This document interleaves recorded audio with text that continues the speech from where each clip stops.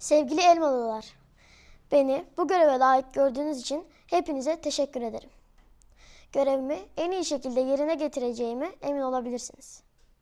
Çalışmalarıma öncelikle çocuk odaklı projelerle başlamayı planlıyorum. Çünkü çocuklar bizim geleceğimizdir.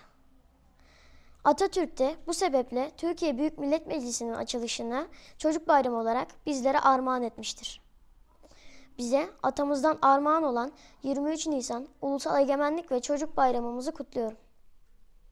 Çocuk odaklı projeler demişken ilçemizin önemli okullarından biri olan Mehmet Topçu İlkokulu öğrenci ve velilerinin bir takım şikayetleri var.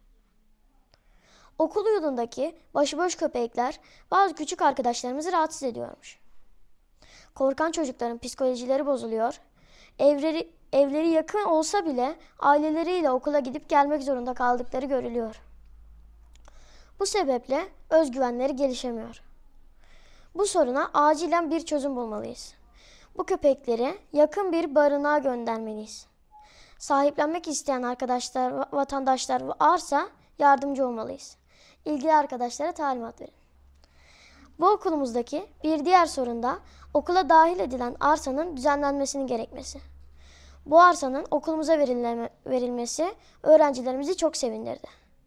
İçindeki eski bina hem tehlike yaratıyor hem de çocukları korkutuyordu. Bu binayı yıktığınız için çok teşekkür ederiz. Öğrencilerin güvenliği açısından öncelikle bu arsanın etrafına beton duvar yapılması gerekiyor.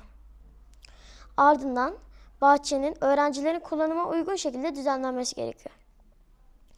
Çocukların oyunla büyümesi gerekir. Oyunlar çocukların fiziksel ve zihinsel gelişimine katkı sağlar. Bu yüzden çocuklara güvenli oyun alanları sağlamak bizlerin görevidir. Okulumuzun basketbol sahası zeminindeki beton hava şartlarının etkisiyle zarar görmüş. Burada oyun oynayan çocuklar sürekli düşüp yaralanmaktadırlar. Bu zeminin kauçuk olması gerekiyor. Bana bu fırsatı verdiğiniz için çok teşekkür ederim.